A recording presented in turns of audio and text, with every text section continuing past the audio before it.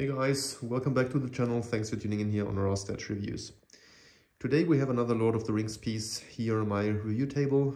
This of course is Lurtz, the Uruk-hai leader who kills Boromir and then is subsequently killed in a fight by Aragorn in Amon Hen.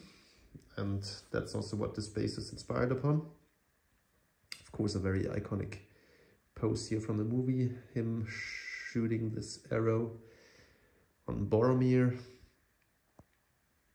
So fantastic concept here for this piece. I didn't plan to get the orcs, um, but I couldn't resist on the Berserker orc. Um, for that piece I've did a review a couple of weeks ago. You can check it out in my on my channel and um, then a good deal came up here from a local retailer for Lurtz and so although I heard that he's underscaled which is probably true but only by a little little bit really um, and I didn't plan to get him I had to pull the trigger and see for myself. And to be honest guys I'm super happy. I purchased this piece because he is really awesome in every way, to be honest. Um, we will check this out in detail, of course, now together. So um, this guy has no switch outs, which uh, is pretty rare for Prime 1 pieces. Of course, there is an exclusive version available of this piece. I think it's sold out, but it was available um, where you have two switch out arms, left and right, where he's holding a shield and the um, Uruk-hai sword. But this one here is the regular. And um, I could have gotten also the exclusive, but it would have cost me, I think, at least 300 bucks more. And that wasn't worth it for me because, um, yeah, it was just too much money. Of course, I would have loved to have the option to switch it out, but um, I think this pose with the arrow is so iconic that anyway, I would have used this probably for the most time. So super happy with the regular piece here. Fortunately, I cannot show you the exclusive items, um, but you may check out other reviews here on YouTube if you want to check those parts out. So we have this villain themed base here that started with Sauron, who had a humongous base with this um, kind of Barad-dûr sub-base design. Of course, with the Elvish Mordor kind of um, letters here on this kind of bronze gold um, spike-like base. As I said, resembling the Barad-dûr Tower of Sauron. And um, then we have this Amon Hen inspired base here. Um, got an Uruk-hai helmet. Um, you've got some nice kind of root um, and moss like um, forest underground base design here on top of that base. Some rocks um, which look pretty nice to be honest. Um, and of course here in the back of the base, this nice um, little head of a statue here from that kind of temple here in Amon where Frodo is um, meeting Boromir and then everything goes south when the Uruk-hai's attack. Um, we've got some roots also crawling up here, these stones. So the back looks really, really nice. Um, I also love the kind of trunk here of that tree. Looks very, very good in my opinion. Um, also up there. A nice work by Prime 1. Here also the um, stone stairs look pretty good. Helmet, very nice metallic finish.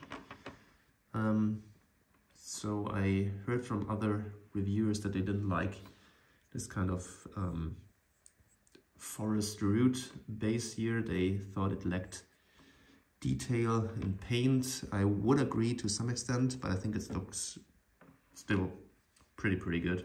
To be honest, I saw much worse bases, uh, even from Prime 1 as well. So this looks actually pretty good. So I'm um, very pleased with concept of the space. Pretty compact as well. Um, you would think that this doesn't weigh much, but to the very contrary, this piece is very heavy. Base is heavy and statue is heavy as well. So it's a pretty compact but heavy 1-4 scale piece. Um, now turning to Lurtz, he's got this nice um, shin and boot guard protected boots here, um, nice leather straps here in the back, um, and then these kind of short boots but with this large armor here, um, very nice metallic, worn and battle damaged look. And then he's got this massive loincloth which goes down here over his leg. Looks very leathery and very good. Um, and you have kind of his belt here and then more the loincloth with different textures here on the front.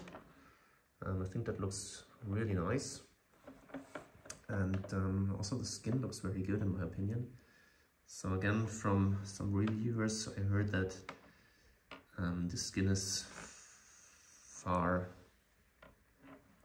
less um, or far inferior than the skin and texture of the Berserker Uruk-hai. Um, again, I would agree to some extent, but the Berserker one was more like painted uh, glossy because he's really in a fight and sweating. This guy, um, though, um, he is also in a fight, but here he is still kind of in the beginning of that fight against Boromir and um, he is not that exhausted still, so um, it's relatively logical that he's not sweating that much. So therefore I think it's perfectly fine to have more of a matte finish here on the skin, um, which is super detailed as you see, also with some scratches here and there, um, some old wounds. Um, also this boot and looks very good.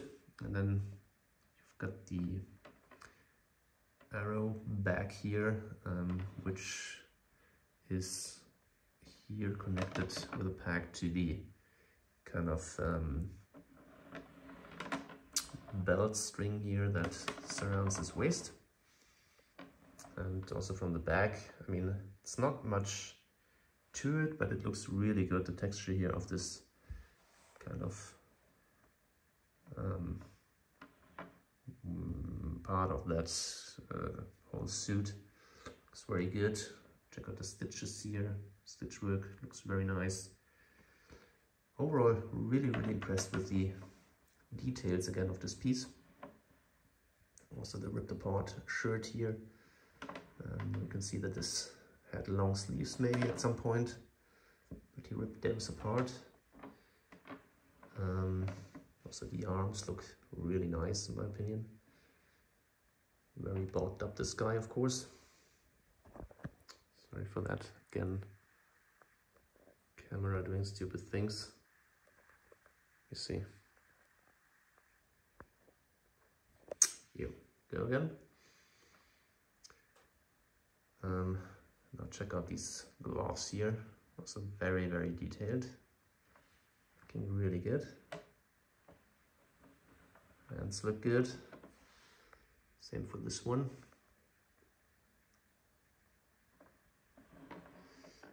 So very pleased with how this looks and um, the both arms are connected through the string of the arrow and the and the bow and so they cannot be separated so you have to place both simultaneously into the holes here in his shoulders and then you have to insert the um, pretty thick arrow here and then there's a little hole here in the hand where you place it in. But you do not see any gaps so this is also very nicely engineered. And um, the bow looks amazing. Really nice design work here same as with the arrow um, I think that looks just badass to be honest as I said super iconic pose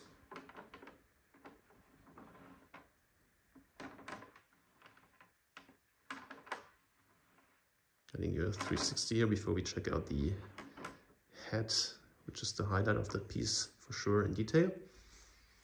So check this guy out.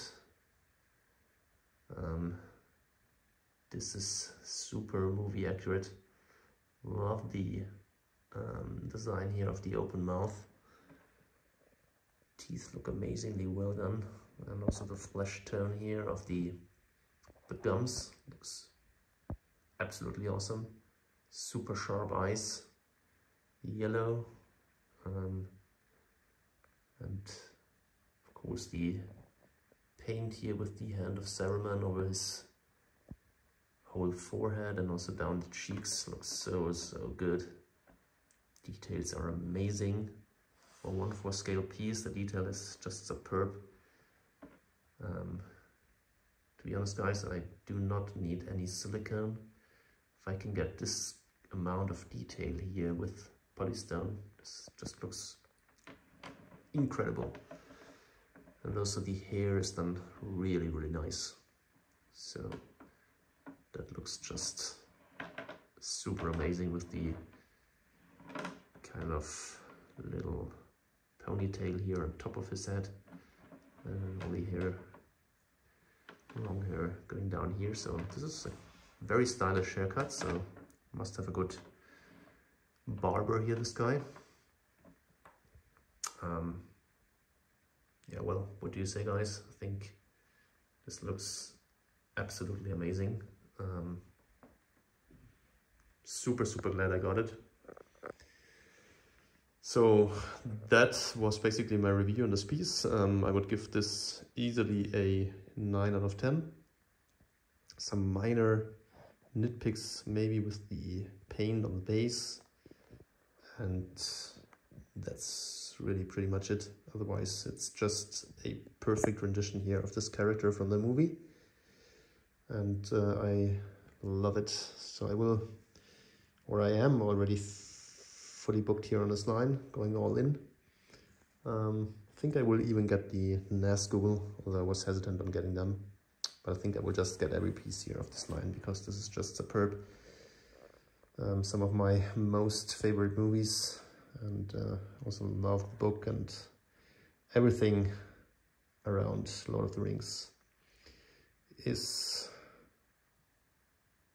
definitely my, my cup of tea. So you let me know in the comment section down below, please, what you think about this piece. And of course, please subscribe to my channel. Don't miss out to hit the notification bell to be alerted every time I upload a new video. And please give me a like, of course, if you have liked what you've seen. Um, this will help out the channel tremendously in being found and getting more subscribers. Um, can't thank you enough for watching, guys, and uh, hope you enjoyed. And have a great day. Bye-bye.